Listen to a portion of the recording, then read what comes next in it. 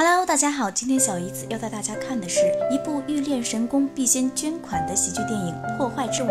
男主阿银是个外卖小哥，一次去武术训练场送外卖时，偶然结识了漂亮妹子阿丽，并深深的爱上了她。可没想到的是，阿银不仅受到了同样喜欢阿丽的教练黑熊羞辱，还被阿丽骂作懦夫。万念俱灰的阿银看到了一张广告牌，上面写着“懦夫救星”，这让阿银顿时重振雄风。就这样，阿银认识了主业坑蒙拐骗。副业开杂货铺的达叔，达叔告诉阿银，自己是退隐江湖的武林高手，只要跟着自己学功夫，泡的妹子不在话下。为了能追到心中的女神，阿银交纳了高昂的学费，跟着达叔学功夫。一天，阿丽被黑熊劫持，阿银戴着加菲猫头套挺身而出，但拳法太差，情急之下，阿银从高台上抱着黑熊滚下，由此创出了无敌风火轮。可事后却被空手道教练大师兄点功。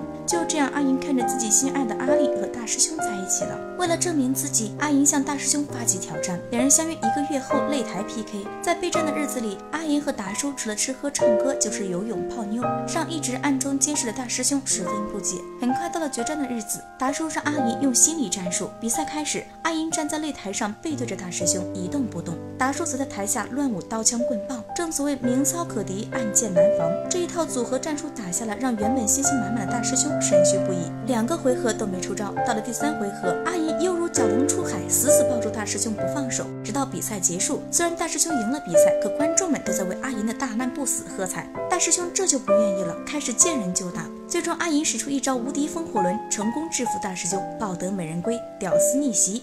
咸鱼翻身是周星驰电影中最常见的人物形象。小人物即便贫穷懦弱，但只要有梦想，并且敢于努力，依旧能成为人生大赢家。电影讲完了，我们下期再见，拜拜。